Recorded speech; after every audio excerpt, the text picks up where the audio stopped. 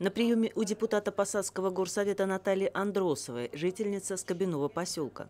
Наталья Ивановна, вы помните, я к вам приходила на прием по поводу нашего несчастного 24-го дома по улице Клубной. Проблемы, как они были, так они и остались. Никакого сдвига у нас абсолютно нет. Этот дом на Скобином поселке, считает женщина, разваливается на глазах. Аварийные балконы, беда с фундаментом, с инженерными сетями. Запах канализации сливается все в наш подвал. И поэтому дом и фундамент, я так думаю, что он тоже идет не туда, потому что одно время, да, одно время мы вызывали, значит, вот я вам говорила, да, да, да, со второй квартиры, потому что пол у нее вообще просил. Начавшийся было прошлой осенью капремонт дома на Клубной улице остановился через месяц. Теперь депутат Наталья Андросова пытается найти прежних подрядчиков и тех, кто продолжит капремонт дома на Клубной.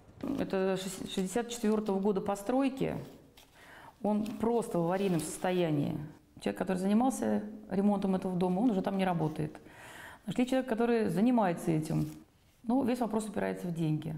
Обещал, как только придут деньги из фонда капитального ремонта, тот же сразу позвонит, пока звонков не было.